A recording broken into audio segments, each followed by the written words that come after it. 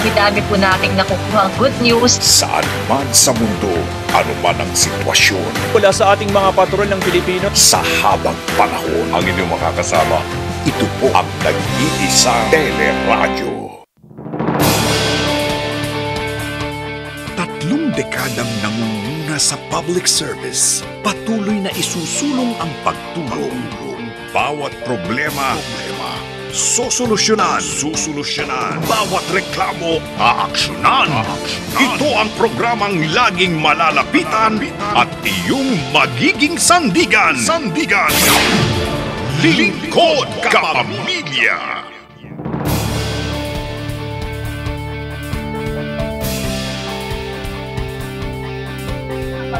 Kamusta po kayo? Sana po ay ayos kayo ngayong umaga. Actually, hindi naman umaga, sana buong araw mo ayos kayo, no? Sabi nga natin, let's take it one day at a time. Totoo naman, ano, sobrang hirap po ng buhay ngayon, parang sunod-sunod. Pero eto na nga po, sabi nga natin, sino pa nga ba ang magsasandalan kundi tayo rin naman? At ang ating kasandalan, okay, pwede tayong sumandal dito sa ating partner every morning, ang ating Kuya Edric Calma na talagang nakangiti po para sa atin. Good morning, Kuya Edric! Of course, Kuya Edric Calmo of Knowledge Channel Foundation. Good morning sa iyo, Ate B. Magandang uh, umaga po sa inyo, mga kapamilya, mga katulong squad. Ako po si Edric Calma. At uh, bawat araw nga, Ate B, ay isang challenge sa atin lahat, di ba? Pero dapat hinaharap natin ang challenge uh, na nakangiti palagi, no? masaya palagi. Kasi wala namang mangyayari sa problema natin kung sisibango tayo. So, ngumiti na rin tayo at uh, dapat may tiwala sa puso na mapagtatagumpayan natin yung ating problema at tiwala sa magagawa natin at magagawa ng mga tutulong sa atin. And point, uh, case in point, sabi nga, everyday nakikita po natin yung tapang ng ating mga kababayan dito. Ano? At yung pagtutulong-tulong natin. Kaya naman, bigyang daan na po natin ngayon na ang ating tulong ngayon alagang hindi na ipagpapabukas. Hinaing mo noon, tutugunan ng Tulong Ngayon! Tulong Ngayon! Madalas po ang naririnig nating nananawagan dito sa ating programa ay mga magulang para po sa kanilang mga anak. Pero ngayong umaga, isang anak pong, tinig po ng isang anak ang ating maririnig. Sobrang hirap po sa kalooban na makita ng isang anak na may iniindang sakit po ang kanyang ama. Hindi na po alam ni Jonalyn Pineda de Guzman kung saan siya kukuha ng lakas ng loob dahil sa pagsubok na dumaan po sa kanilang buhay. May sakit po kasi sa baga, may diabetes at may hypertension din ang kanyang 69 years old na amang si Fernando Sison Pineda na nasa Muntinlupa City po. Umaapela po si Jonalyn na sana po ay matulungan siya ng mga taong may mabuting kalooban na makabili po ng gamot para sa kanyang tatay na may karamdaman. Ngayong umaga, kapiling po natin via Zoom, Jonalyn Pineda de Guzman. Magandang umaga sa iyo, Jonalyn. Magandang umaga rin po sa lahat ng mga nanonood at mga nakikinig sa Lutod Kapamilya Teleradyo. Hi! Um, Hi po. Kumusta ka? Okay lang po, ma'am. Ah, ano po kasi, ma'am, ah, nanghingi po ako ng tulong para sa tatay ko na may sakit bilang anak po na panganay, uh, responsibility ko po talaga na alalahanin po sila. Diyan po ang kalagayan. sa lahat po ng gustong tumulong sa tatay ko. Andyan lang po. Andyan lang po sila sa Alabang, Muntinlupa. Andyan po sila nakatira. Bali po ang tatay ko ngayon nasa Alabang, Muntinlupa po. Sila po ay sakit nag-oxygen po sila ngayon. Hirap po kasi sa paghinga. Ah, uh, yung last po, ah, uh, na-hospital po yung tatay ko, December 3, December 25.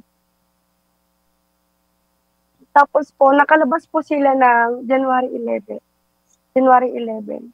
Lumabas na po si tatay dahil po sa mamahalin na gamot na binibili po sa labas, eh hindi naman po nila kayang bumili ng gamot.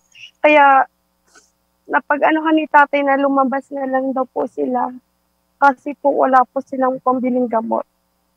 Ang financial po na gamot, wala po. Jonalyn? Jonalyn? Asan ka? Nasa Pangasinan, Kalasyaw po. Bakit nandyan ka at yung pamilya mo nasa Muntinlupa? Ah, dito po kasi ako nakapag-asawa, ma'am. Ah, bali po si pamilya ko po nasa Alabang Muntinlupa po sila. Nakadalaw ka na ba sa Dito po ako nakapag Opo, ma'am, yung Janua, ah, January 2 po. Ah, nasa, ano po sila, no, nasa hospital po ng Mo- Osmon Muntinlupa. Bali po, ma'am, hindi ko po sila nakita hanggang hanggang bumalik po ako dito sa Pangasinan. Hanggang ngayon, ma'am, hindi ko pa rin po sila nakikita hanggang video call lang po. Sabi mo, lumabas na ang papa mo ng, sa ospital dahil sa mahal na ano, na gastusin? Opo, napakamahal po kasi ng bibilihin na gamot. Wala po sila kasi pambilihin ng gamot. Kaya napag-anuhan po ni tatay na lumabas na lang daw po. Naiintindihan ko yung agam-agam ng papa mo, no? Kasi ang magulang po talaga ayaw po nilang maging pabigat sa kanilang mga anak, di ba? Um, sino ang kasama ng papa mo sa, Opo, ma'am. sa Muntinlupa? Si nanay po, andun po si nanay. Tapos po yung mga kapatid ko po na na 19 years old tapos 15 years old po. Anong sakit ng ng tatay mo? Ah, sabi daw po ng doktor, sa baga po, yung baga po ni tatay, nagtubigan. Tapos po may diabetes po si tatay, parang ano na rin po, pneumonia. Oo. Matagal na Tapos ba po- yung sakit niya? Matagal na po, ma'am. Ayaw lang po ni tatay magpakumpay sa ospital. Gawa po ng mamahalin na gamot. Oo. Wala bang ano, wala bang PhilHealth kayong magkakapatid o si tatay, ala ba? May PhilHealth po si tatay, nagamit naman po, pero po kailangan po talaga ng pambili ng gamot sa labas. Mga Wala kapamilya. Naririnig po natin. Kina, ano eh, kinakausap ko rin, ano, um, Jonalyn, yung mga kapamilya natin. Kasi marami kong karamdaman naman talaga me, na meron namang paraan, pero ang nagiging li- limitasyon yung pera palagi. Eh. Ikaw ba, ano bang trabaho mo, Jonalyn? Wala po, ma'am. House, housewife lang po dito sa bahay. Housewife? Bali po, bali po yung mister ko po, nagtatrabaho po siya. Oo. Yung si papa mo, si tatay mo, anong trabaho noong active pa siya? At saka si nanay, anong trabaho noon? Ah, si tatay po dati po maintenance sa barangay Alabang. Ah, ngayon po, hindi na po sila nakapagpatrabaho simula po nagkasakit sila. Pati Tapos si mama sila- nasakit? Si nanay po, ah, may naano rin po na sakit. Kaso ayaw niya sabihin kung ano yung sakit niya. Tinatago niya. Tapos po, para lang magkapera po, naglalaba po si nanay sa kapitbahay para lang po may makain dun sa sa kanila po. Ay, naiintindihan natin ha. Mga kapamilya, sana ho, sana ho kahit papaano, alam ko relate kayo sa kwentong po ito ni Jonalyn, ano ho. Um, lalong-lalo na ho sa mga magulang. Alam ko ho, ayaw po ng mga magulang na maging pabigat sa kanilang mga anak. At alam ko rin ho, ang mga magulang, lalong-lalo na kung may sariling pamilya na ho yung mga anak, ayaw po nilang maging pabigat. Pero ito ho alam natin na yung diabetes, yung pneumonia, may gamot naman po yan eh. Um, sana ho bigyan natin ng pagkakataong lumaban po ang pamilyang ito, ang pamilya po ni na Jonalyn, ah, sa pamamagitan po ng pagtulong natin ngayong umaga. Jonalyn, kausapin mo ang ating mga televiewers, ang ating tulong squad. Anong gusto mong sabihin sa kanila? Sa lahat po na nanonood ng Lingkod ka Pamilya Teleradyo, nanghingi po ako ng kaunting tulong para po sa tatay ko na ma- maipagamot po kahit po financial na lang po para po sa gamutan ni tatay ng pangmatagalan. Sa lahat po ng gustong tumulong. Maraming salamat po. May Gcash ka ba, Jonalyn? Ang, ang tatay, meron bang Gcash para mapaabot na ng tulong squad yung yung blessing? Meron po, ma'am, ah, may Gcash din po ako. Ah, ang number ko po, Ah, nakasali po dun sa pinost ko na nanghingi po ako ng tulong. Andun na rin po yung Gcash number. mm Sige, i-announce natin. Jonalyn, pakibanggit. Ah, ang Gcash number ko po 09 26 07 4 ah 2 2 7 9 Ayan po yung Gcash number ko po. Para Para pang beses, please. Please, pakibanggit ulit. Number number po ng Gcash po 0926 074 2279. Ayan po. At Jonalyn, alam ko hindi ka nakakadalaw sa tatay mo, pati na rin sa nanay mo. I'm sure nanonood sila ngayon. Ano ang gusto mong sabihin sa kanila? Mapa, kung nanonood po kayo, eto na po ako nang hihingi na po ng tulong para sa inyo. Uwi po ako dyan. Uwi po ako dyan. Kapag nakahingi po ako ng tulong, tutulungan ko po kayo. Mag-ingat po kayo dyan, Mapa. Andito lang po ako, nakasuporta. Ayun lang po, ma'am. Ilan taon ka na, Jonalyn? 24 po. Bata mo pa. Ang, ang tatay at ang nanay, ilan taon? 69 po si tatay, bali po si nanay 45 po. Tapos may mga, wala, yung edad, ano, 69 at 45? Opo, ma'am. Oo. Ilan, ilan nga, teenager pa lang mga kapatid mo, no? Yes po, ma'am. Ah, 19 years old po, tapos 15 years old po. Yung naiiwan po dun sa Alabang Muntinlupa. O, ibig sabihin nun, kailangan pa nila ng mga magulang, ng mga kapatid nyo. Di ba? Kailangan pa nila na mabuhay ang kanilang tatay. At Oo. Um, yes, Kuya Edric, go ahead. ah, balita ko, Ate B, si John rin pala ay bagong graduate ng high school. At 24, Salamat. Ba, Jonalyn? Salamat po, sir, ma'am. Kahapon po. Congratulations. alternative learning system po. Congratulations, Jonalyn. Congratulations sa'yo. Salamat po. Oo. Nakakatuwa. Ah, Ate B, magandang regalo sa tatay at sa nanay ang ah, yung graduation. Jonalyn, Salamat po, sir. habang nandun na rin lang tayo sa topic na yun, ano, high school at nag-ALS ka, bakit ka nag-decide na bumalik sa pag-aaral? Ah, gusto ko po kasi magtrabaho, ma'am, para rin po sa magulang ko na hirap po, para rin po makatulong po sa kanila. Lahat ng ginagawa mo para sa ano, sa magulang mo. Magulang po. Opo, magulang ko po talaga. Ano ba Panganay sila kasi ako, Ano yun? panganay po kasi ako sa magkakapatid po. Kaya kailangan po talaga na nandun po ako para tulungan sila. Um, may tanong ako ha, kasi mukhang mahal na mahal mo parents mo, pero may asawa ka na. Yes po, ma'am. Oo, hindi pa mahirap na nag-asawa ka, na ganyan mong gustong suportahan din ng pamilya mo? Naintindihan ba ng asawa mo? Yes po, ma'am. Gusto niya rin naman po magsuporta kahit papano po. Nakakatulong po. Hindi naman na pag-aawayan kasi syempre mahirap yung buhay. Hindi po, ma'am. Okay lang po sa asawa po. Naiintindihan niya naman po yung kalagayan namin.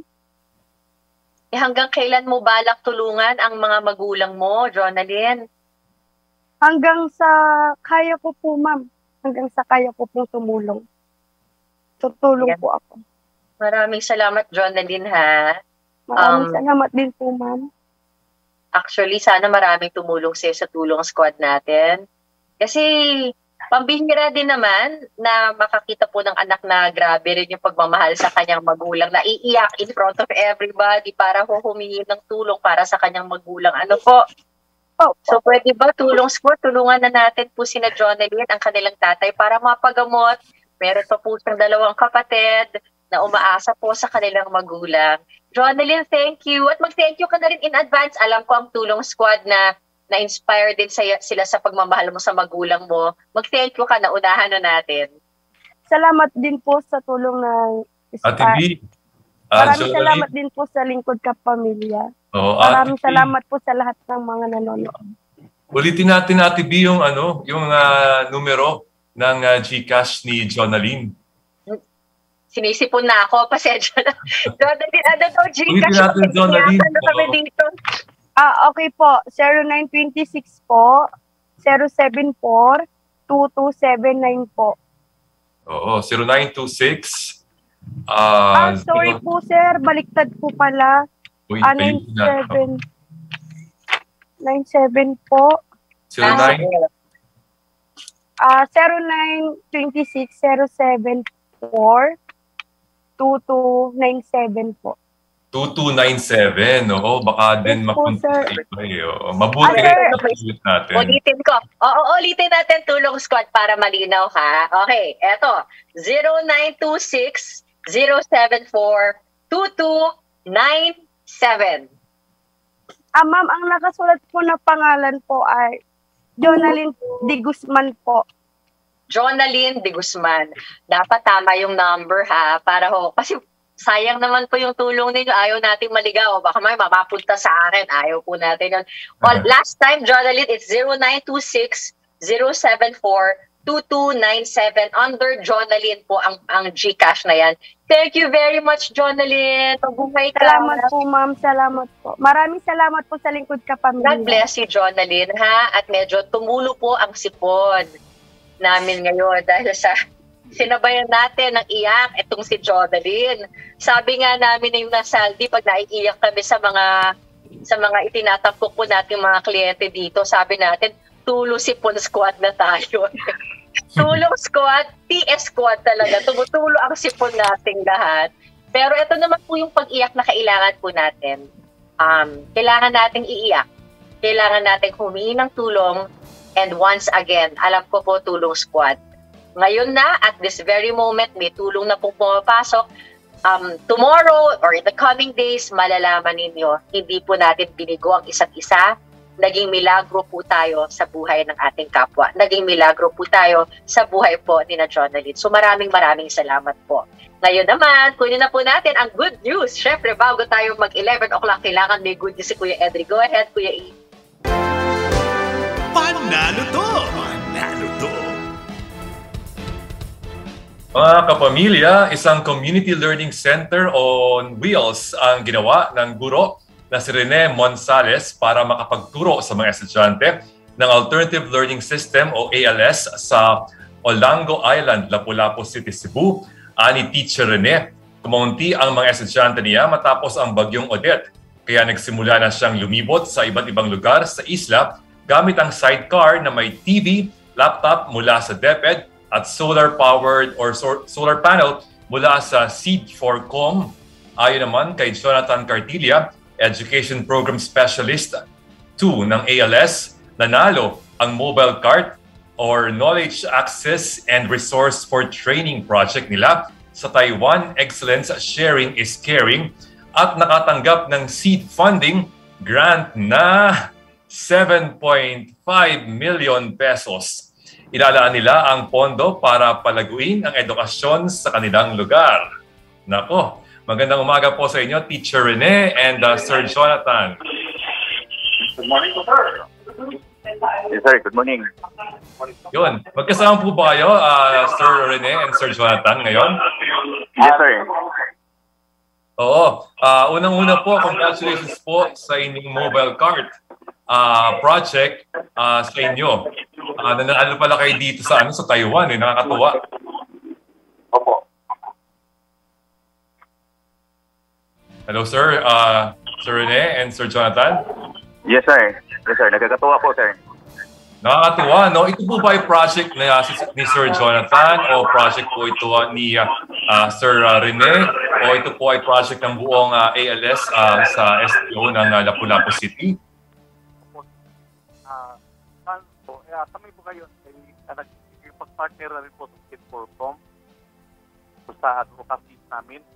Kasi as mobile teachers po, yung sa COCs namin, usually po ay yung mga our mobile teachers natin ay pupunta doon sa COCs para po ah, makapag-submit sila ng mga modules nila and then to have that uh, needed intervention para naman po sila ay makapag-patuloy sa kanilang pag-aaral once na na-complete nila yung our uh, program po. Oo. Uh, kinikwento ni Sir ah, Jonathan ba to, sir? Sir Jonathan ba? Ang kausap ko? Ah, sino pang kausap ko ngayon? Ah, Sir Jonathan? Sir ah, Rene?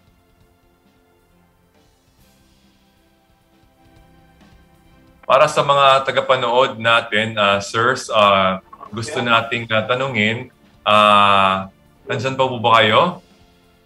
Yes, sir. Nandito po kami, sir. Ayun. Nakinig- Sino po sila, sir? Oo. Ah, Sir Rene ba ito? Sir Jonathan? Yung kausap po kanina, sir, si Sir Jonathan. Ngayon, ako si Sir, si Rene Monsales, sir. Oh, Sir Rene, para sa ating mga tagapanood, no? Ah, ano po ba itong ano, ah, ALS? Ah, ito po ba ay ah, ah, ino-offer ng ah, ating ah, Department of Education na libre? Yung AL, uh, center namin, sir, sa public yun, sir, sa ating DepEd Lapu-Lapu City Division. Yung mobile tangkal yung ginamit ko, yung sidecar, bali, ano na, sir? Sure.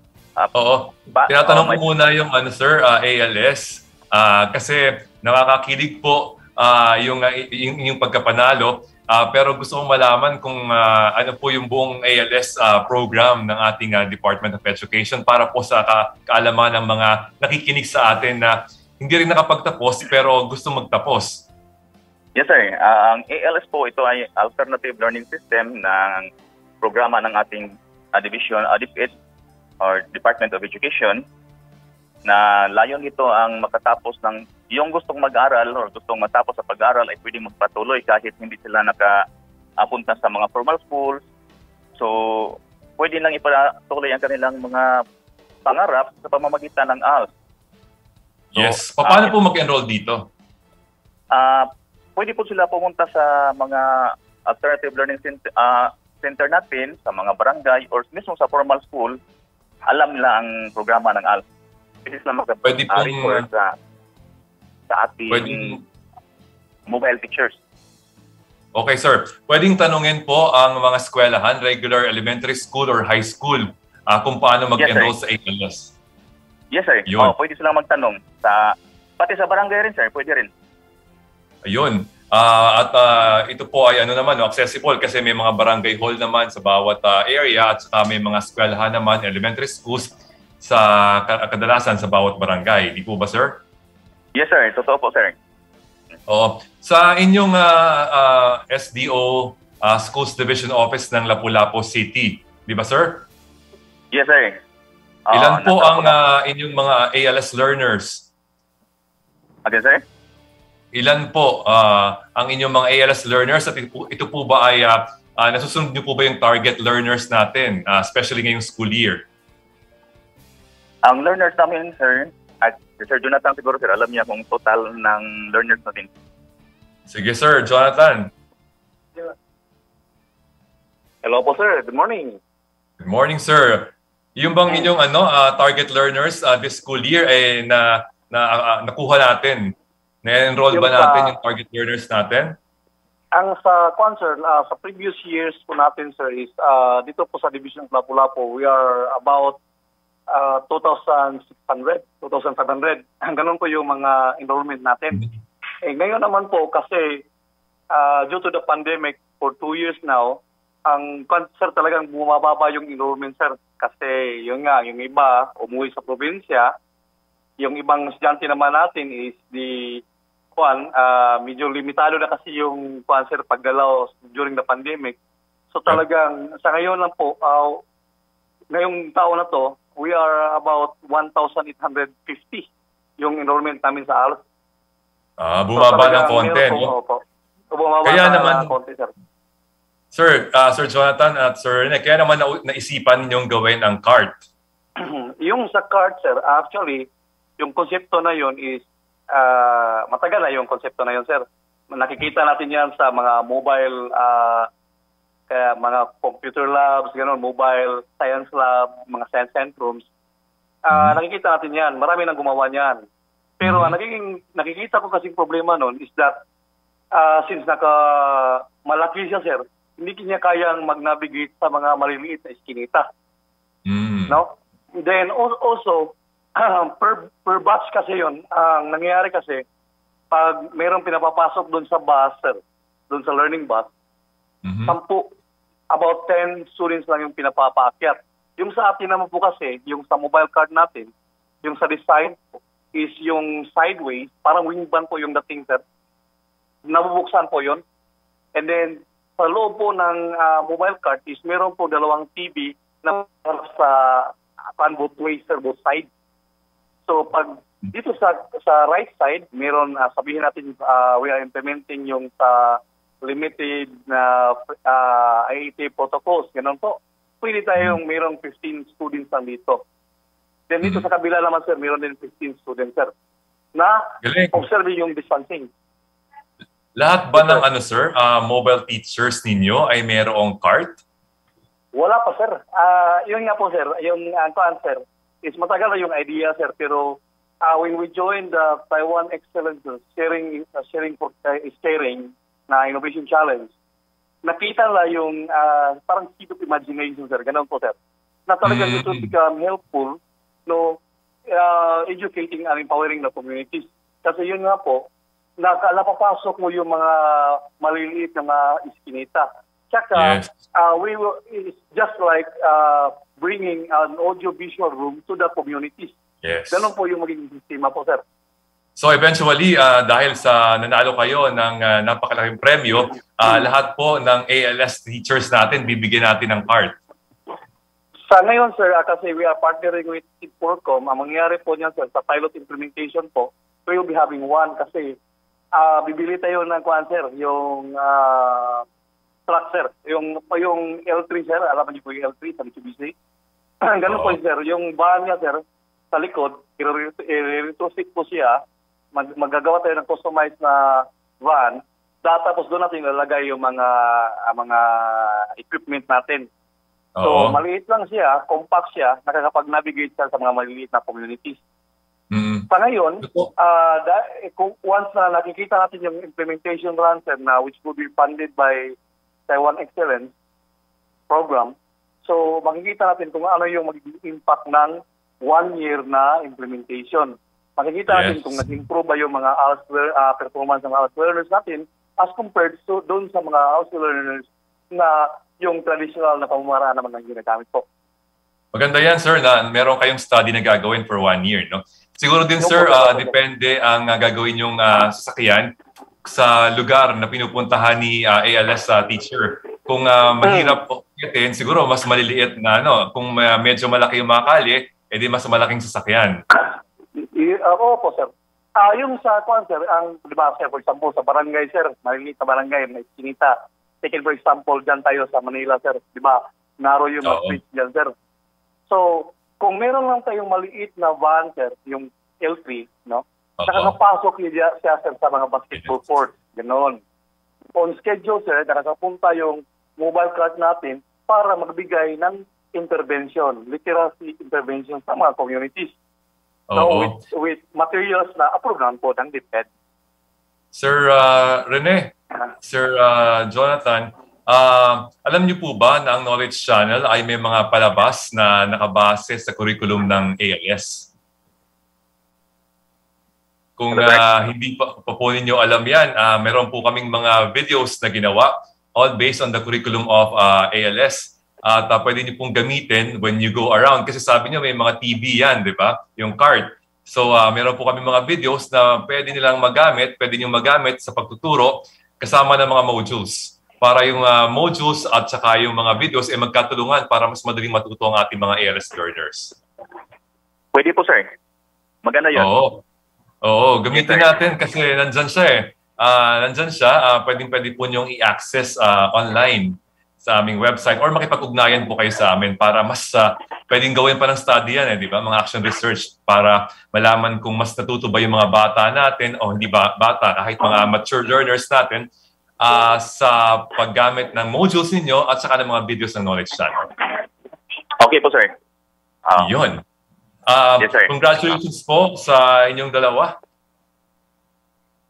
Maraming sa salamat po, buong, sir. ah, Oo, sa buong division of Lapu-Lapu City, no? So ang winner po noong uh, prize na yan ay buong division ng uh, Lapu-Lapu City. Uh, tama po ba? Yes, sir. Yes, sir. So po, sir. Yun. Nakakatuwa po yung uh, ginagawa nyo at uh, ipagpatuloy nyo. Uh, finally, uh, ito po yung uh, advice. Ano po yung i-advise natin sa ating mga ALS learners at sa mga division na nagsusumikap maparami ang kanilang mga ALS learners para lahat po ng mga hindi nakatapos ng pag-aaral ay maabot nitong ALS? Okay, uh, yung masasabi ko po ay bukod sa panang problema natin sa pandemya, sa amin ito may bagyo pa, pero uh, tuloy na tuloy lang. Huwag lang tayong atras, huwag tayong hinto. Hmm. Tuloy lang, tuloy lang sa ating mga uh, innovation, sa ating pag-implement ng ating mga programa na naayon sa ating Department of Education at sa ALS. Yes, uh, Sir Jonathan, salamat po. Sir Rene. Yes, sir. Mm-hmm. Uh, Sir Jonathan ba kausap natin? Sir Rene yung kausap natin? Si Sir Jonathan po, sir. Nandito po siya, sir. Oo. Hello, sir. Uh, sir Oo. Hello po, Jonathan Kakila po, sir. Oo. So, yun ang advice natin, no? Tuloy-tuloy lang tayo, no? Maging uh, creative uh, para yes, sir. Yes, mas ma mas ma-engage ang ating mga learners. No? Alam natin sila ay medyo uh, nagkatrabaho na siguro ito or uh, mga busy na sa buhay pero mas maganda na kung makapagtapos sila ng pag-aaral. Opo, ba? Opo, parang para pong cancer, parang uh, it would be uh, parang simula po sir na mabigyan natin sila ng cancer pagkakataon sir na please maging interesado naman sila po sa pag-aaral. Yung mga na-out of school youth po sir. Oo. At uh, Balitaan niyo po kami uh, pagkatapos po ng yung pilot study no uh, tungkol sa yes, card sir, yes, sir. We'll be keeping in touch, sir. And then, uh, yun nga po, if ever, kung sir, maging possible, ano yung outcome ng study, uh, we'll yes. be sending you updates po, sir. Oo. Lagyan niyo ng knowledge okay. child videos yung card natin. No? Maraming salamat uh, po, Teacher Rene and Supervisor Jonathan. Thank you po, sir. Thank you po, sir, sa opportunity po, sir. Thank you. Okay. Mga kapamilya, ang oras po ay 11.06 na. Meron po tayong commercials at pagbabalita. Ang puso ng serbisyo publiko para sa kapamilyang Pilipino. Pilipino. Lingkod Kapamilya sa Teleradyo. Handang maghatid ng balita kapakipakinabang talaga sa ating po mga kababayan. Impormasyon. Dito nakasalalay ang mas mainam na Pilipinas. Humingi ng paglilinaw, alalayan lang tayo ngayon ha. Baka sakaling may matutunan. Maging gabay na rin sa ating mga kababayan. Dapat kumpleto. At serbisyo publiko. Dami-dami po nating nakukuha good news. Saan man sa mundo, anuman ang sitwasyon. Wala sa ating mga patrol ng Pilipino. Sa habang panahon, ang inyong makakasama ito po ang nag-iisang teleradyo. Balita ngayon!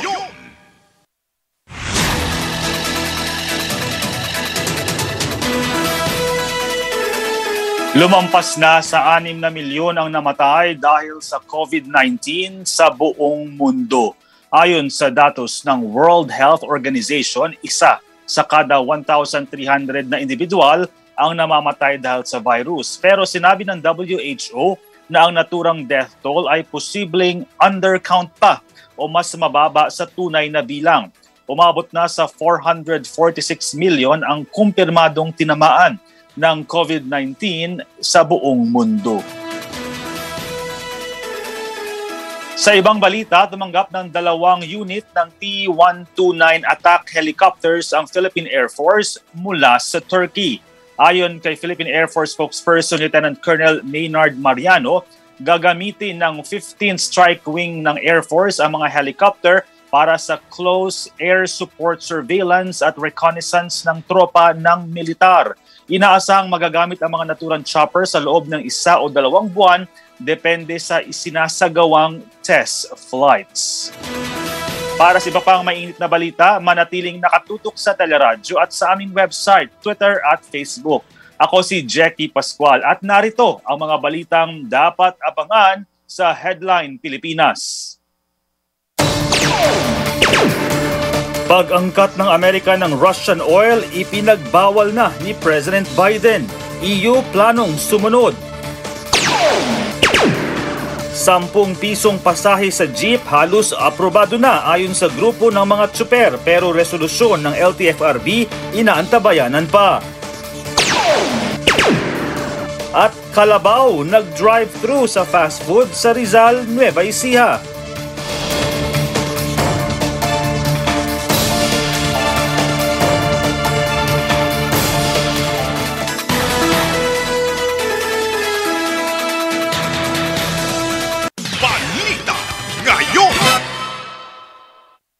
Hello, Wash! Para sa kaligtasan ng buong pamilya, tandaan ang mga paalala ng Bureau of Fire Protection. Kung nagluluto po tayo at umapoy, agad-agad po natin kunin ang ating fire extinguisher, pull the pin, aim the nozzle, squeeze the lever, and sweep side to side. Pag wala po tayong fire extinguisher, kung ito po ay lumiliyab na, for example, mantikang na, nagpiprito, Oo. po tayo ng basang-basahan at sa pong itaklob doon sa umaapoy. Wag na wag pong bubuhusan ng tubig. Kung halimbawa, outlet na pumutok, Tamang gawain po dyan ay i-switch off yung main switch natin at ipasuri na po agad ito. Isang paalala mula sa nag-iisang teleradyo.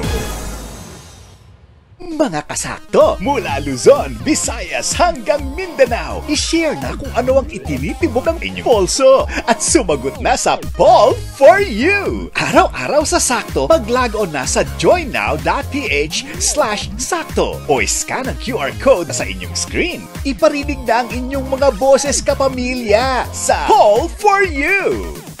Sakto! Mula lunes hanggang biyernes, alas 6 ng umaga sa nag-iisang Teleradyo. Mahahalagang balitang tinutukan. Ang nangungunang banta ngayon. Binantayan. Patupad na ng pinaikling isolation. Ibubuhos pagpatak ng alas 7.30 ng umaga sa Teleradyo Balita. Kasama ang pinagkakatiwalaang boses ng bayan, kabayang Noli de Castro. Kabuuan ng ating mga balita. At Joyce Balacio. At yan po ang mga balitang interampok. Lunes hanggang biyernes sa nag-iisang teleradyo. Ang balita, hindi mo na kailangang hanapin pa. Kami na ang bahalang magdala nito sa Viber chat mo. Mga kapamilya, manatiling nangunguna sa balita at impormasyon at supali na sa ABS-CBN News Viber Community. Ano man ang say at hugot nyo sa mga isyong kinakaharap ng ating bayan, ang mas pinalakas na Lingkod Kapamilya sa Teleradyo. Lingkod Kapamilya Updates! Mga kapamilya, noon pong nakaraang biyernes, March 4, ay nakapanayan po natin si Nanay Michelle Olivera Valencia para humingi po ng tulong sa kanyang dalawang anak na pareho pong may congenital cataract. Ito po ay ang kanyang tatlong taong gulang na anak na si John Rysel. Samantalang ang bunso naman na, si, na ang one-year-old na si Israel ay meron din pong cerebral palsy, epilepsy at global developmental delay. Ang panawagan po ni Nanay Michelle ay mapagtuunan po daw sana ng pansin na maipa-opera ang kanyang anak na panganay sa pamamagitan po ng tulong po ninyo. Ano po?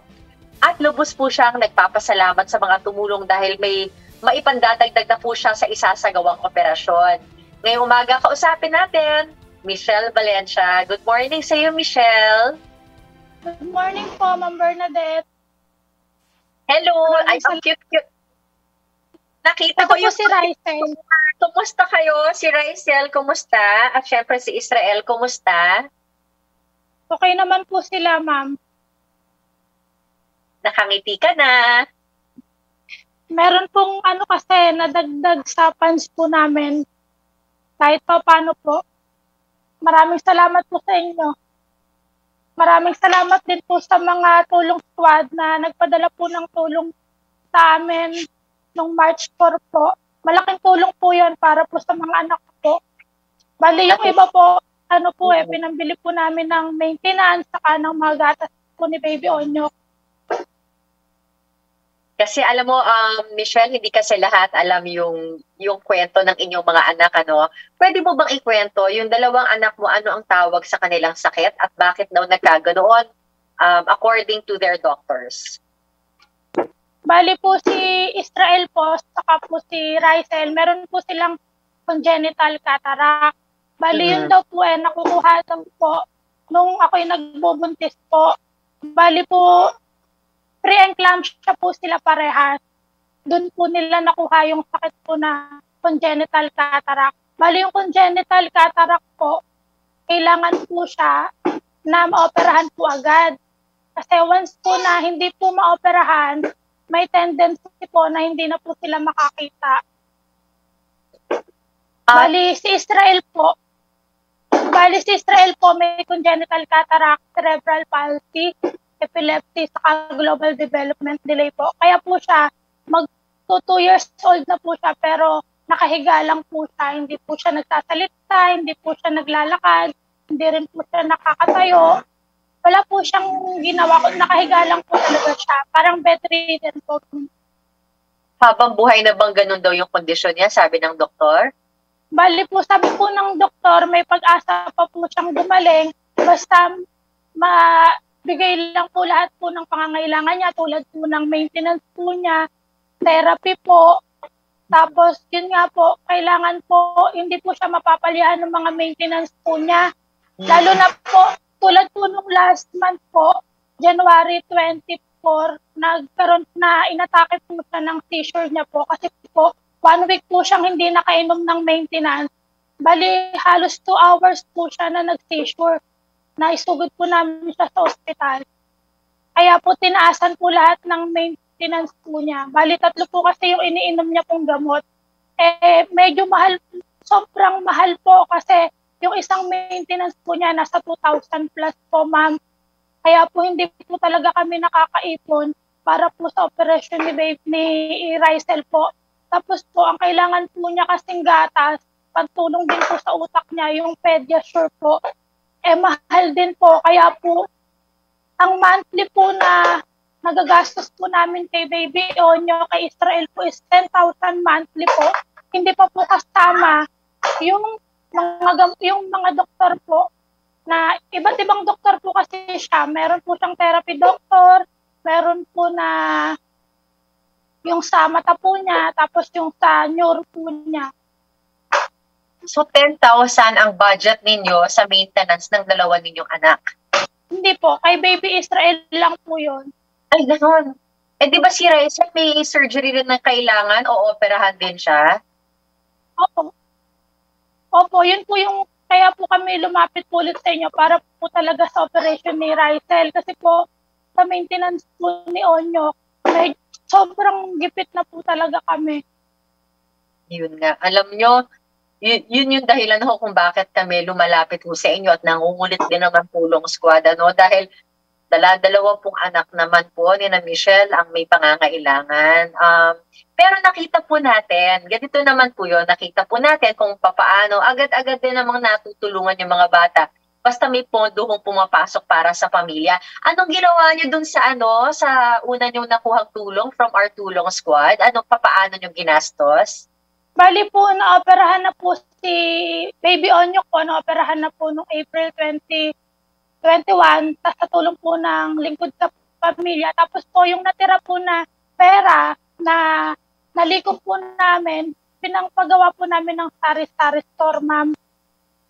Mm. Bali, eh, yung, oo. Nakakatulong ba yung sari-sari store sa gastos ninyo? Opo, ma'am. Sa pang-araw-araw po namin, ma'am. Yung ah. pambiling pagkain po, sa kuryente po, nakakatulong po. Malaking bagay po sa amin yun. Oo, kasi syempre doon rin kukunin yung pangkain. Pero kulang pa ano, ooperahan na si Baby Rysel soon, hopefully, no? O, sana Kasi, po ma... Oo. Maano po, makakompleto po namin. Yun na lang po kasi naantay eh, yung funds na lang po. Tapos tatawagan po namin yung doktor niya para schedule siya ng operation po. Ayun. Michelle, maraming maraming salamat ha. At sana ho, Tulong Squad, bigyan pa po natin ng pagkakataon. Ang mula bang foundation doon sa ospital para makatulong doon sa operasyon ni Rysel? Bali, naka-under na po siya ng foundation, ma'am. Kaya po kailangan, pagpunta po namin doon, dala po namin yung ano, yung estimated amount na kailangan po nila. Kasi pag inoperahan po si Rysel ng umaga po, bali hapon po natatapos, magpapahinga lang po ng 2 hours, iuwi na rin po namin. Ah, Magkano yung kailangan para kay, sa operasyon ni Baby Rysel? Bali, estimate po sa operation niya, 40. Pagkasama po yung IOL, kasi po yung IOL po na lente, i-order pa po ng hospital po yun. Bali, 20,000 po yung dalawang mata, bali 60,000 po. Eh, Oo. meron pa ang mga laboratories po, yung mga x-ray po, yung general check-up para masigurado po na wala siyang ibang sakit bago po siya operahan. At si Rysel, okay siya. Mata lang ang, ang problema niya. Na, na, okay yung pag-iisip niya. Ayos naman siya. Ayun. At in fact, nauntog pa nga si Rysel sa likod. No? Nakita namin yung picture na untog. Kasi Opo, hindi ko nung- nakakakita ng malinaw. Tama ba yun? Opo, ma'am. Bali, pag tinanong po siya kung alin yung hindi nakakakita sa kanya, ituturo niya po yung kanang mata niya. Eh, nung nagtitinda po ako, medyo ano na po, madilim na, nakalabas po siya ng gate. Pag uwi po niya, may bukol na po sa ganito. Iyak na po siya ng iyak. Kaya po talaga, hindi ko po siya pinapayagang lumabas. Kasi po, kahit po dito, sa lamesa lang po namin, malimit po siyang mauntog. mm Huwag lang kakalimutan yung salamin ha. Pero actually gusto nating malikot yung mga bata kasi alam natin healthy sila eh, di ba? Yun yung gusto natin. Ingat lang at sana nga tuloy-tuloy ang gamutan kay Rysel. Tulong squad ha, tulong po tayo. Gcash mo nga, Michelle. 0938-457-3250. Mga tulong squad, ayun po, flash po natin ang Gcash na na Michelle para syempre kay ng Israel at Rysel. Tumulong po tayo mga kapamilya. Tumulong po tayo. Ah, ang oras po natin ay 11.20. Ngayon naman puntahan natin ang ating Kuya Edric. Ang inyong daing at damdamin aming dingdingin sa Panawagang Bayan. Ngayon naman, Ate B at mga kapamilya, nagtampo sa kanyang ate ang 17-year-old na si Francesca Kayla Armonio, tagaas ng Barangay Hulugan 1, Tanza, Cavite. Kaya umalis ito ng bahay ng walang paalam mula pa noong linggo, March 6. Labis naman pong nag-aalala ang kanyang inang si Ginang Rubilin Armonio sa kanyang kalagayan dahil unang beses lamang itong ah, ginawa ng kanyang anak na patuloy naman nilang hinahanap. Magandang ah, umaga sa iyo, Nanay Rubilin Armonio. Nanay Rubilin, Hello po, sir. oo. Ang pinapakita natin ah, ay ang ah, latest bang ah, picture ni Francesca. Opo, sir. Oo, batang-bata pa yung anak niya, 17 years old lang. Opo, sir. Batang-bata pa po.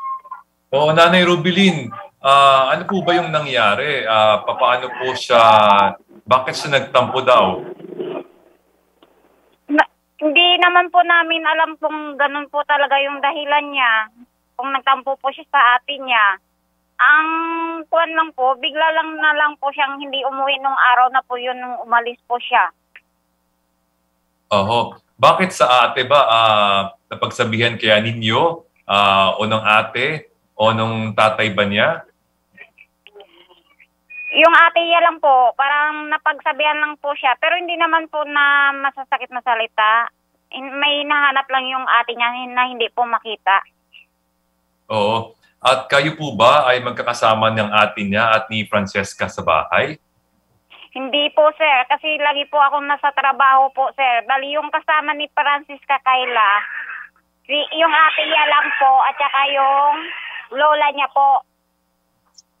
Ah, hindi kayo nakakauwi sa bahay ah, araw-araw. Opo, every, opo, every week lang na lang po ako na uwi. Oo. So nung ah, linggong yun, ah, nung March ah, 6, nung dumating kayo, wala na si Francesca sa bahay. Opo, nag-chat na lang sa akin yung ate niya na yun nga po, nung linggo ng gabi, mga 7 p.m., nag-chat na po yung ate niya sa akin na si Francisca Kayla hindi na po nakauwi ng bahay. Ah, Kaya dali-dali naman po akong pumunta doon sa lugar na kung saan sila po nakatira. Bago Oo. simula no, nina- hinanap na po siya namin kahit sa mga kaibigan niya po, makakilala, wala po talaga. Ah, Nanay ah, Rubilin, si Francesca po ba ay may daladalang cellphone? Wala po siyang dalang cellphone, sir. Kasi nung time na yon, sira po yung cellphone niya. Kaya naiwanan niya po yung sa bahay yung cellphone niya. Oo. Ah, umuwi ba kayo? Nakita niyo ba ah, ang kanyang uh, oh, cabinet na gaya ng mga gamit niya at mga damit? May dala kaya siyang damit? Opo, tinignan po namin. Ayos naman po. Lahat ng mga gamit niya, na dito naman po. Wala, wala po siyang dala, kundi yung, yung suot niya lang po nung nawala po siya. Ah, so ibig sabihin, ano, ah, wala talaga siyang balak ah, maglayas, no? Ah, Opo. maaaring ang nagtampo lang, ah, umalis. Pero, oo, pero matagal na, ilang araw na rin nakakalipas, no? Ah, Opo, magtatatlong araw na po ngayon, sir. Oo. Si Francesca po ba ay nag-aaral? Nag-aaral po, grade 8 po ngayon, modules. Grade 8, si Francesca. Ah, so paano po yung kanyang pag-aaral? Ah, yung modules niya hindi niya dala. Hindi niya po dala. Nung time na yung, nung Sunday na po yun, nag-chat pa po sa akin. Gamit yung cellphone ng ate niya. Sabi Oo. nga, tinatanong niya ako kung kailan daw ang pasa ng modules niya. Oo. Ano ang Yun. ah, Oo, Po? so yun lang po yung huling usapan ninyo. Opo, yun ang huling usapan namin. Yung nag-chat lang po sa, siya sa akin gamit yung CP ng kapatid niya po. At wala namang nabanggit na ano, wala namang nabanggit na ah, ma, ah, ako po Mm. ay nagtatampo kay ate. Wala po, sir. Sabi Oo. lang po sa akin, Ma, hindi ko na mabuksan yung Facebook ko kasi nga hindi na alam yung password. Gawa nung hindi nga po siya makapagkuhan sa GC ng picture niya. Kaya hindi siya maka-update po. Kaya nagtanong po sa akin. Hindi daw mabubuksan yung Facebook niya. Yun lang po. Bago kung kailan pa sana ang modules niya, yun lang po ang usapan namin. Wala naman po siyang binanggit na iba.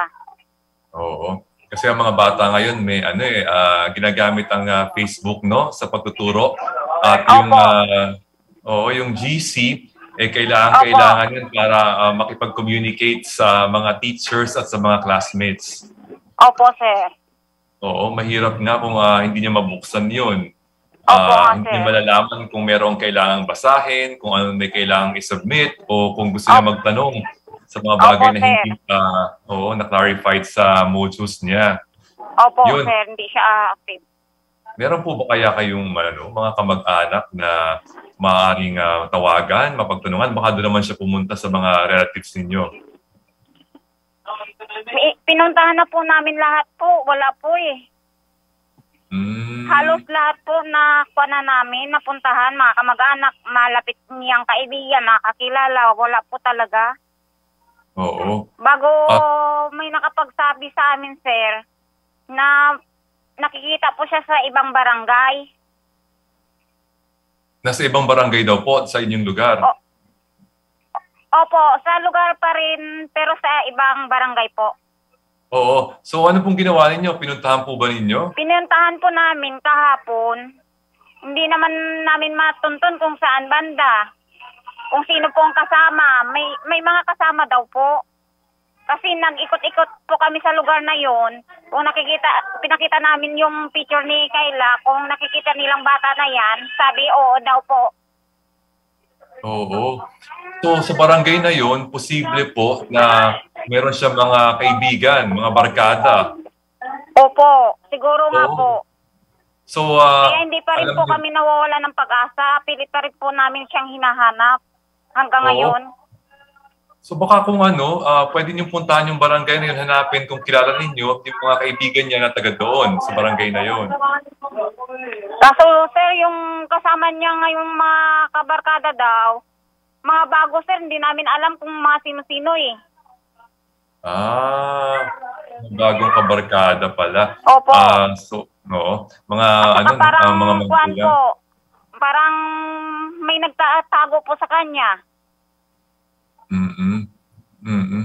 Ah, nanay, ah, Rubilin, ah, usapin natin si ano, si Francesca ngayon kung siya ay nakikinig. Apo. Nak, Kayla, kung saan ka man ngayon, umuwi ka na ngayon dito sa atin. Nag naghihintay kami lahat dito sa iyo. Umuwi ka na, nak. Bawa ka naman sa amin. Isipin mo naman kami.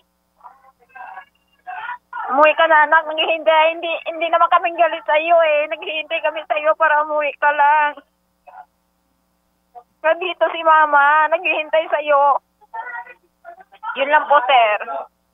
So, ah, Mama, ah, Nanay Rubili, hindi po kayo nakakapasok ngayon sa trabaho. Opo, hindi kami, ah, na, hindi po ako nakapasok. Ma, tatlong araw na po ngayon, sir. Oo, dahil ah, kayo ay nag-aalala, no? Hihintay niyo na umuwi siya at naghahanap kayo. Opo, naghahanap po kami. Kung ah, Kaya, po, Oo. Para po sa mga taga dyan sa inyong lugar, ano po yung uh, mapagkakakila- mapagkakakilanlan kaya Francesca Kayla? Ah, baka sakaling makasalubong nila ito sa inyong barangay o doon sa barangay na sinasabi po ninyo. sa nakikinig man ngayon, kung nakita man nila si Francisca Kayla, yung anak ko po, yung huling suot niya po, nakakulay maroon na pobo, na damit, na blouse. Bago yung naka jogging pants na kulay black na may stripe na white.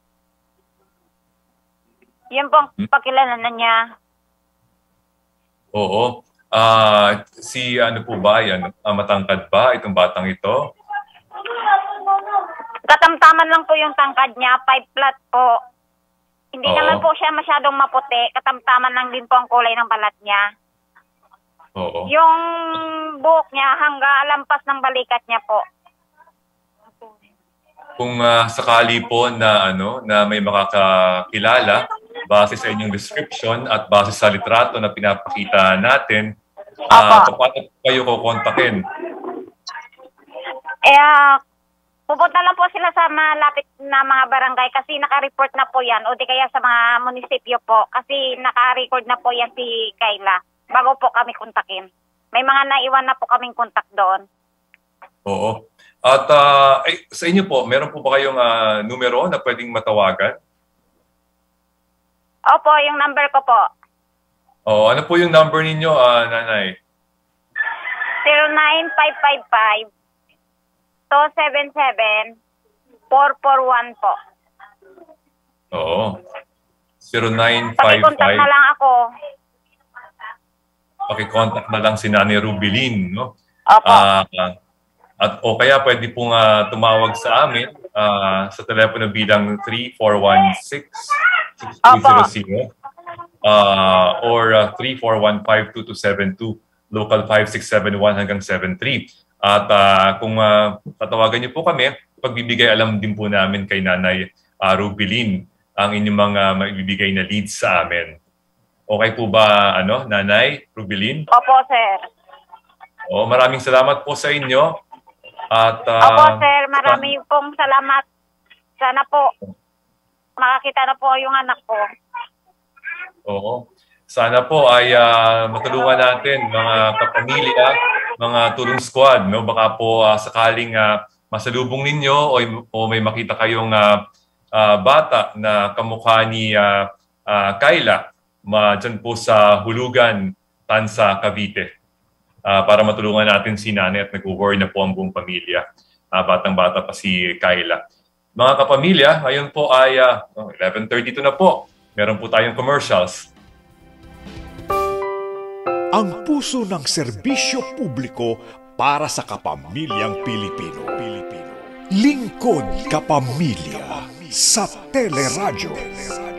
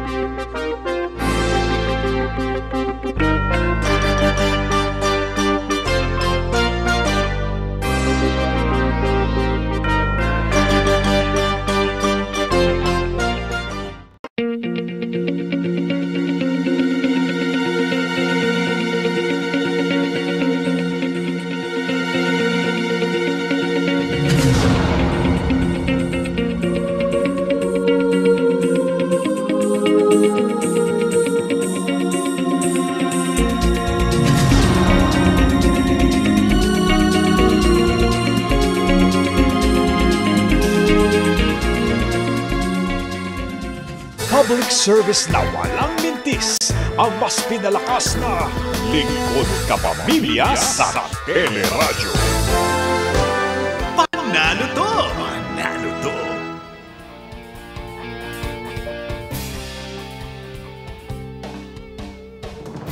Mga kapamilya, ang lakas pong maka-high school feels ng prenup photo sina Bite Patroller Trisha Madriaga Picasso at Emerson Picasso mula po sa Kabiling Tarlac noong January 19. Si Trisha po ang nakaisip ng konsepto dahil masarap daw alalahanin kung paano sila nagsimula. Alam niyo ho, 10 years na silang mag-un. Mula pa po noong second year high school at third year naman po si Emerson ikinasal sila nitong nakaraang February 7 at paalala po ni Trisha, wala daw perfect relationship kaya daw dapat mangibabaw ang pagmamahalan at syempre patience sa isa't isa. Lalo na ngayon na sila ay Mr. and Mrs. Picasso na. Ang ganda naman ng apelido ni Picasso. Ngayong umaga kausapin natin Trisha Madriaga Picasso at Emerson Picasso. Magandang umaga sa inyo. Good morning po, Miss Bernadette. Kala ko nakaano rin kayo high school uniform. Hindi po. Couple shirt na po. Oo, oh, sweet naman. Ano nakasulat sa shirt ninyo? What God has joined together, let no man separate. A gift po ng ninang at ninong naming pastors. Oh, how nice, how nice. Um, ilang years kayo bale bago kayo nag nag-tie the knot from mag-boyfriend pa lang kayo? Mm, bago po kami kinasal, um, 10 years po kaming mag-boyfriend at girlfriend po. Tala, tapos kayo ang ano, first boyfriend, first girlfriend ba yan? Opo. Opo. May mga fling-fling, parang puppy love, ganyan. Pero hindi naman po yung parang sabi na serious na. mga nalilink lang na mga high school thing. Naloka ako. Hello. Pero ang tanong ko, how do you know it was real? Eh, bata nyo pa. Eh, kayo syempre kahit pa paano matanda na kayo. Pero nung high school kayo, how did you know? Di ba sabi ka sa kantayan ng tan tan tan puppy love. Dararara. Alam niyo ba yun? O, masyado na kayong bata. puppy love lang dapat yun eh, kasi high school. Siguro po nung una po, medyo ganun rin po siguro. Pero nung tumagal na po, naging seryoso na rin po kami na. Um, opo. Ah, o sige, paano nangyari yun? Uh, yung una, crush-crush lang, tapos paano naging seryoso? At hindi ba para ang bata pa para maging seryoso sa relasyon? Uh, kasi po, dati nauso ang ka-text, yung kuhaan ng number sa school namin. Tapos, Emerson po kasi, isa siya sa pinakatahimik na estudyante sa school namin. Tapos, hindi siya ganun ka, ka famous, ganyan. Tapos, curious ako, binig isang classmate ko, binigay niya yung number sa akin. ako talaga. Tapos yun, nagsimula po sa friendship kasi may mga common friends na kami. So, yung mga common friends namin, sumasama na kami sa kanila hanggang sa tuksuhan, hindi na namin namalayan na naging kami na pala. Tay lang. So, sinasabi mo, ikaw yung unang nagda moves. Ano, parang ganun ang nangyari. Parang ganun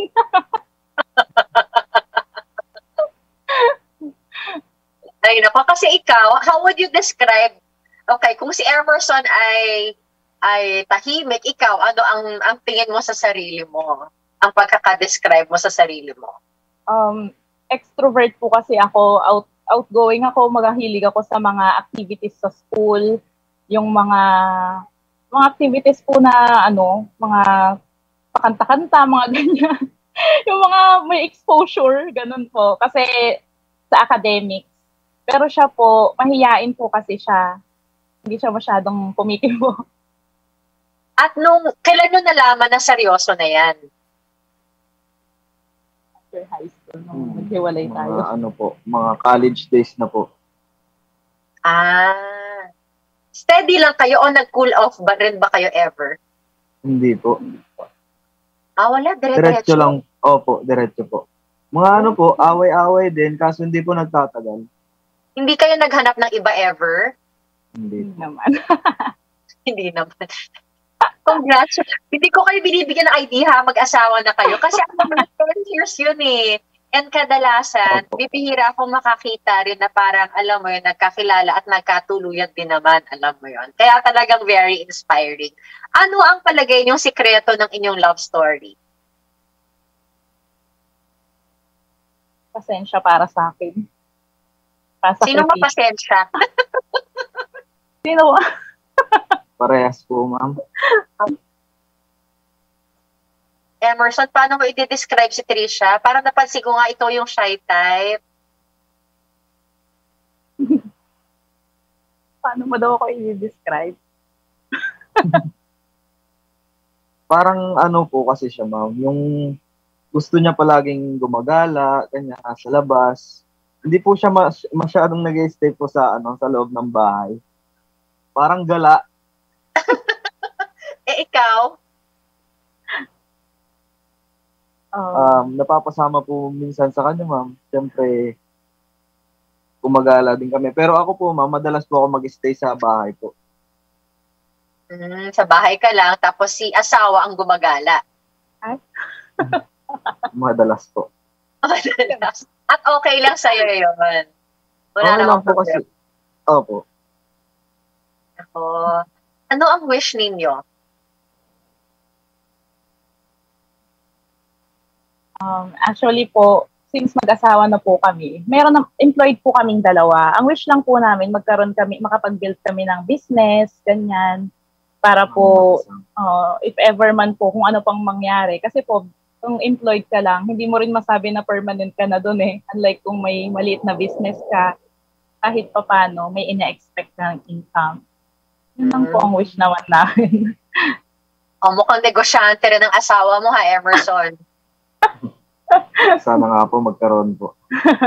Oo. At um, sinabi ninyo, hindi ko alam kung sino sa inyong dalawang nagsabi nito, high school yung theme ng inyong wedding dahil, or prenup ba yon Dahil gusto Oo. nyong sariwain yung mga kung paano nagsimula. Bakit yung gustong sariwain kung paano nagsimula ang love story niyo? Kanino bang idea yun? sa bride? Sa akin po. Um, natuwa po ako kasi pumayag siya. Kasi po siya, hindi siya, hindi niya po masyadong gusto yung mga ganong bagay. Kasi nga po, exposure na naman. so, naisip ko po yun kasi marami, marami naman pong nakakaalam, lalo na sa, sa amin, sa Tarlac, na kami na since high school. So, gusto lang din namin ma-inspire yung iba na, at saka mapatunayan sa iba na hindi porke maaga kayong nag pumasok sa relasyon is masisira na yung buhay. Parang, kasi po marami rin kumukontra sa relasyon namin dati, which is normal lang naman dahil bata pa kami. Naintindihan naman po namin yun. Ay, kahit bata pa ako, alam ko na, alam mo yun ba, mga lumang kanta. Okay, so pwede palang seryoso at may focus kahit na young ang relasyon. Maganda yun ha? Tama ba? Opo, ma'am. ano, ano ang, sige, advice sa mga bata na nasa relasyon na? Kasi pwede naman talaga umibig, why not, di ba? Pero kailangan meron rin palang pangarap, kagaya ninyo, gusto nyo magnegosyo, at mukhang inayos naman ninyo ang buhay ninyo. Opo. Ah, siguro po, know your priorities. Yung ganun. For example, may project kayo, tapos ginugulo ka niyang mag-date kayo sa canteen. Huwag mo nang mag-date. Mag-project muna. Sino ba yung gugulo kanino? Ikaw ata yung gugulo kay Emerson. Sabi siguro ni Emerson, ako ba? Project muna ako. Sino ba yun? Sino ba yung mas disiplinado sa inyo? Talaga? Ay, galing. So at least know your priorities. Okay lang umibig, know your priorities. And I guess you have to bring out the best in each other. Alam mo naman kasi okay yung relasyon when you bring out the best in each other. Kapag you bring out the worst in each other, I guess yun yung problema, di ba? Tama ba ako? Yes, Tama ako. Nakakaloka. Tama ba? Tama ba ang Lola B? Tulungan sa project, ma'am. Pwede. ba? Oo. Um, anong, ilang taon na kayo ngayon? Bali, ah, ah, ilang taon na po kaming in a relationship po? How old are you? Ah, 25 years old po ako, ma'am. Tapos 24 po. Bata pa din. Marami pa kayong ah, pagdadaanan. And ilang kids ang balak ninyo? Magsa-start na ba agad kayo ng pamilya or hindi muna? Ano, ma'am? Hindi pa po siguro, ma'am, kasi parang hindi pa po kaya, ma'am, kasi wala po kaming magandang ano, eh, income. Kailangan Magaling siguro ka. mag-business. Pero at least alam ninyo yung priorities ninyo and may God bless your marriage. Wait lang ha. Kasi malay mo may mga gustong magbigay ng pakimkim. Ayun, tulong. Why not, diba? magbilang anghel ka, ma'am. Basta know your priorities. May Gcash ba kayo? Ay, meron po. Oh, good job. Anong Gcash ninyo? I-shout out ko ba, ma'am? sayang. Sayang ang pakimkim ng mga ninong at ninang natulong squad. Sige, sige lang. Sige po. Ah, yung sa akin na lang po. Ah, 0909 84 04 640.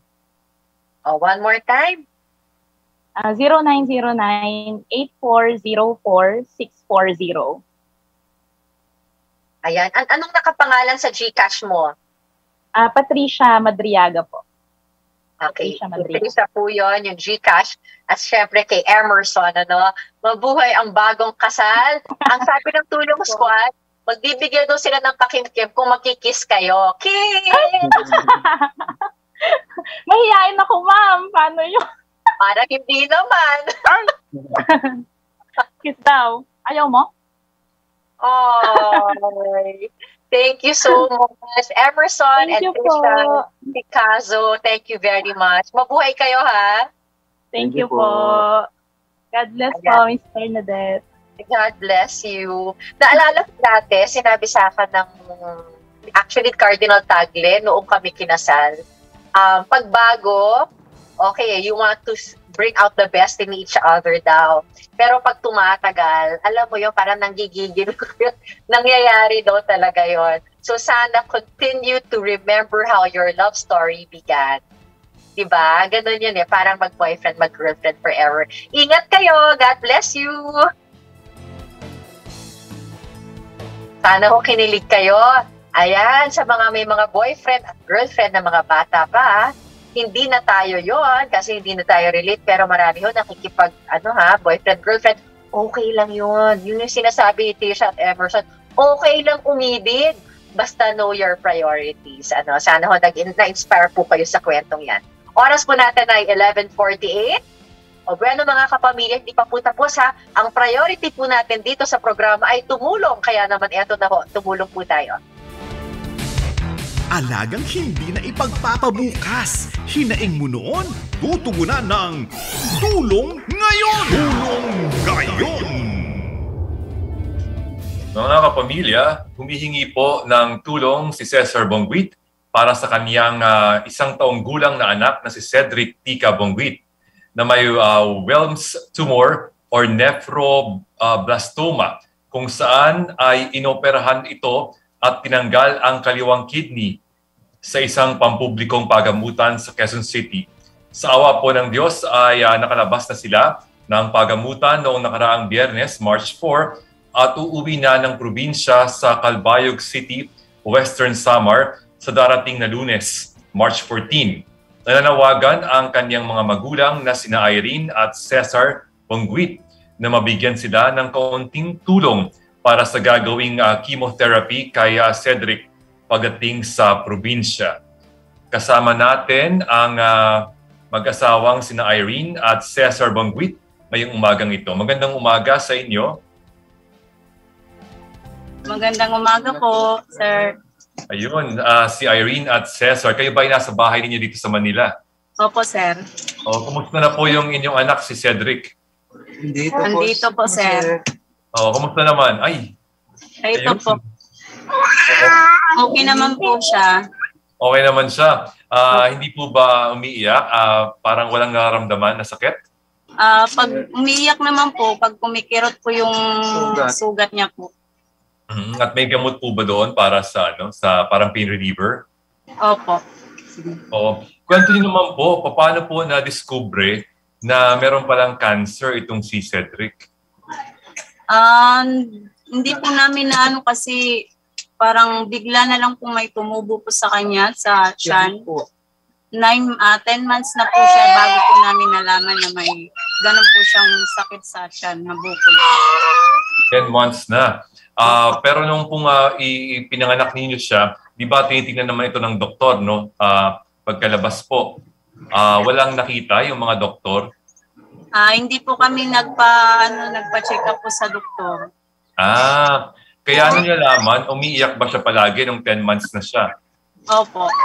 Tapos merong ah, parang bukol sa tiyan. Opo. Oo. Ah, ilan daw po ang ah, sinasabi ng doktor na kailangan niyang chemo ah, sessions? Ah, six sessions lang po yung chemo niya, isang buwan lang po.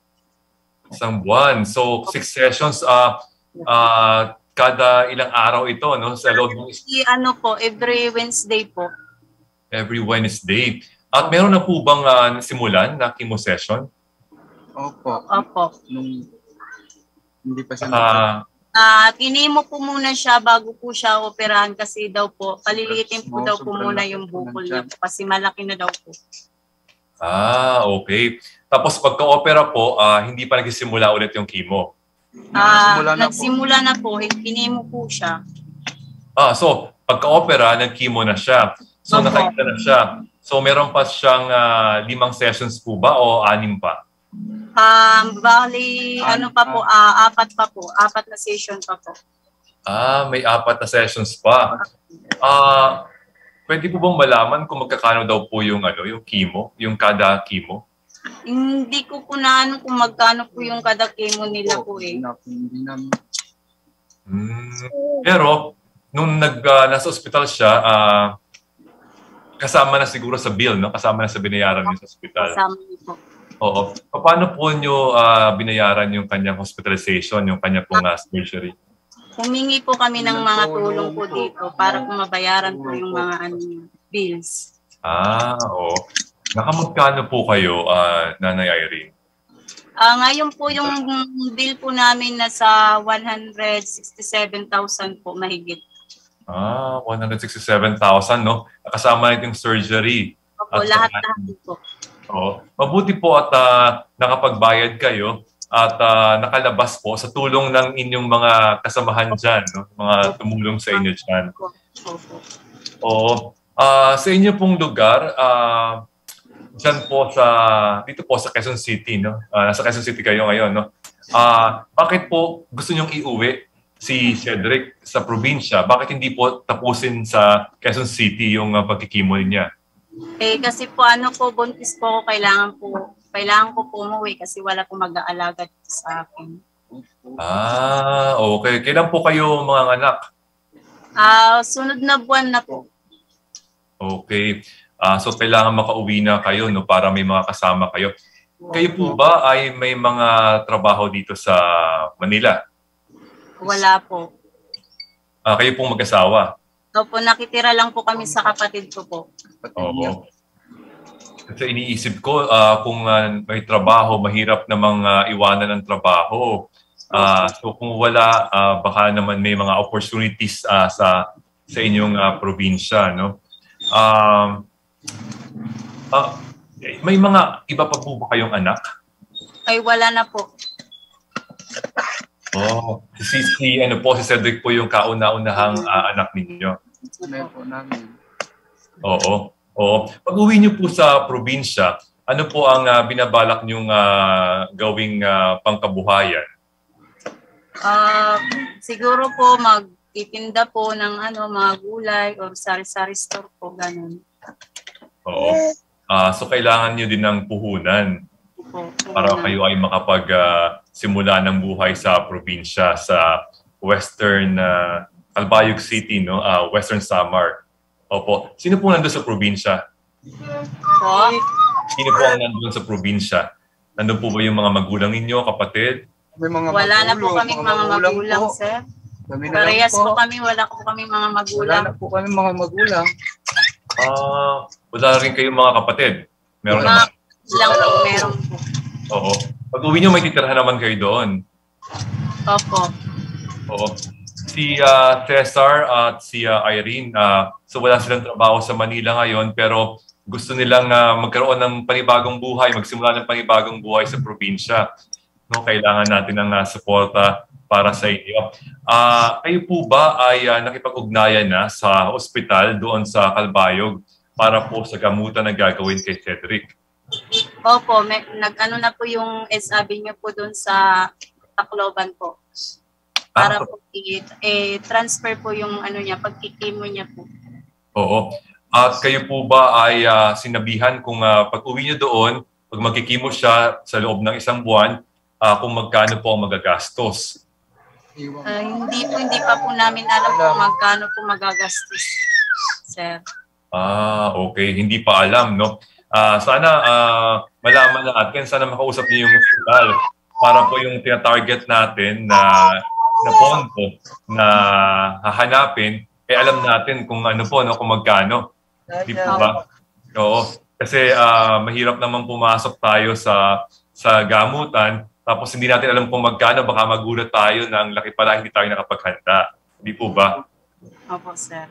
Oo. Ah, Mami Irene at ah, ah, Daddy Cesar, ah, manawagan tayo sa ating mga ano, ah, kapamilya at sa tulong squad para matulungan kayo at ah, matulungan si ah, Cedric sa kanyang pagkikimo at ah, para matulungan din po kayo na magkaroon ng puhunan para makapagsimula ng ah, bagong buhay sa pag-uwi niyo sa Kalbayog. Sige po. Uh, kami po ay nananawagan, humingi ng kaunting tulong. Pinasal po para sa aming anak na si Cedric Punggit. Kahit pambili lang po ng kanyang mga gamot Ano nung pompo ko kanya na na sana gumaling na po siya.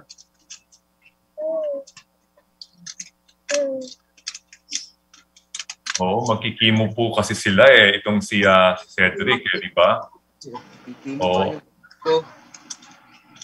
Ano po, ah, Daddy, ah, Cesar? Po. Ano po sinasabi ninyo, Daddy? Po. Ah, may, ah, ano po yung sinasabi nyo kay ah, nanay, kay, kay Mami Irene? Ikikimo po yung anak niya po. po yung anak ko po, ikikimo pa po. Oo. Kung hanap buhay ko, sa bundok lang po yung hanap buhay ko dun sa amin, probinsya. Ano po yung ginagawa nyo sa probinsya noon bago kayo pumunta ng Manila? Buhay ko doon, ha? Naghahapos lang po ng buko. Sa amin dun probinsya. Hindi. Nagka-harvest ng ah, buko sa probinsya. No? So kailangan kailangan po nila ang, ah, ang tulong kasi ah, ah, four sessions of chemo pa ito at hindi naman po ah, chemo lang yung ah, yung pagkakagastusan. No? So pag nagpupunta sa ospital, may gastos din po. At ayun nga po, kamukha na sinasabi natin kanina, kailangan din nila ng tulong sa pagsisimula ng bagong buhay sa Calbayog, no? sa, sa kanilang probinsya. Paano po ah, makakatulong sa inyo, ah, ah, Mami Irene and ah, Daddy Cesar? Sir? Ah, ano po yung inyong mga GCash ah, account number ah, para makatulong sila sa inyo? Ano po, sir? Pwede pong i-ano yung number, sir? Opo, sige po, sabihin po natin para po ah, makapagpadala ang ating tulong squad sa inyo. Ah, sige po, sir. 09455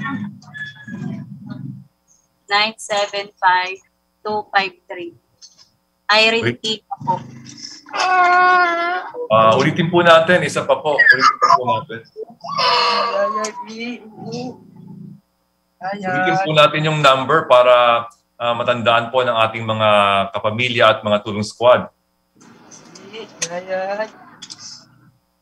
Sa 09 455 975 253.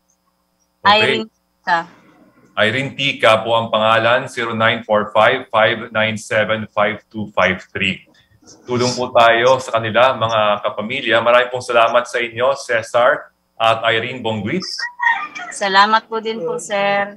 At uh, panalangin po natin na uh, maraming tumulong uh, para po uh, magamot uh, ng gusto at gumaling po ang inyong anak na si Cedric. Opo, sir. Salamat po. Maraming pong salamat sa inyo. Maraming salamat. Uh, Ate B. Kuya Edric? Yes, Tapos Ate B. na naman yung programa, pero kapag meron ako nakikitang problema sa ating programa, eh hindi ako nawawalan ng loob eh dahil ang yabang ko. Kasi andyan yung tulong squad eh. Basta alam po natin hindi tayo nag-iisa. Kaya natin eh. Nakita nyo, di ba? Kaya po natin, Kuya Edric. Paalam na tayo. Till tomorrow. Maraming salamat po sa inyong pagsama sa amin, mga kapamilya, Tulong Squad. Patuloy po tayong tumulong. Ako po si Edric Calma. Ate B, happy lunch! Happy lunch! Happy lunch! Grabe, nakaka-inspire ang programa natin. ha Yung ALS, ituloy natin yan. Kuya Edric, yung education talaga. Ang dami natin na feature. Kapag nag-aaral po tayo, ibig sabihin patuloy pa rin tayo sa pangarap natin. Kaya hawakan natin yung ating pangarap. Bye-bye Tulong Squad. Thank you as always. Until tomorrow. Bye. Maraming salamat. Ako po yung Ate B. Bernadette Zambrano Aguinaldo. Be happy!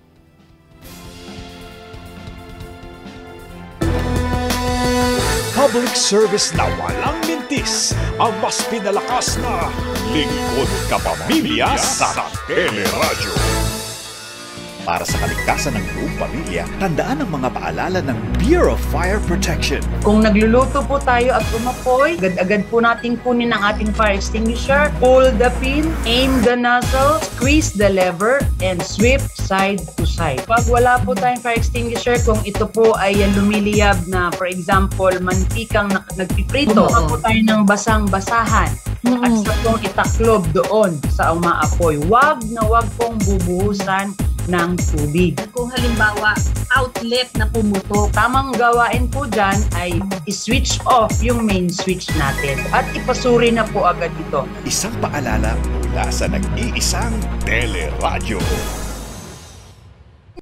Mga kasakto, mula Luzon, Visayas hanggang Mindanao, ishare na kung ano ang itinitibok ng inyong pulso at sumagot na sa Poll for You! Araw-araw sa sakto, mag-log on na sa joinnow.ph slash sakto o scan ang QR code sa inyong screen. Iparinig na ang inyong mga boses kapamilya sa Poll for You!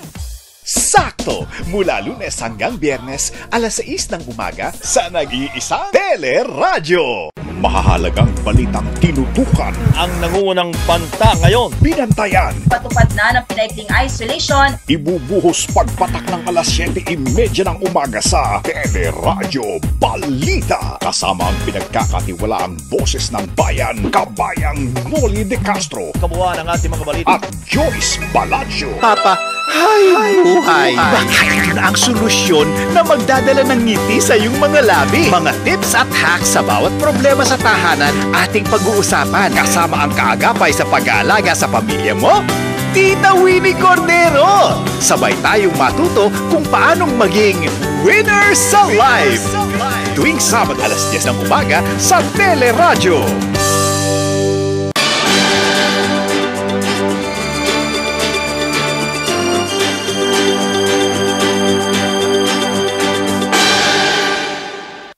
Handang maghatid ng balita, Kapakipakinabang talaga sa ating po mga kababayan. impormasyon, Dito nakasalalay ang mas mainam na Pilipinas. Humingi ng paglilinaw, alalayan lang tayo ngayon ha. Baka sakaling may matutunan. Maging gabay na rin sa ating mga kababayan. Dapat kumpleto. at serbisyo publiko Dami-dami po nating nakukuha good news. saan man sa mundo, anuman ang sitwasyon, Mula sa ating mga patrol ng Pilipino. sa habang panahon. Ang inyong makakasama, ito po ang nag-iisang Teleradyo.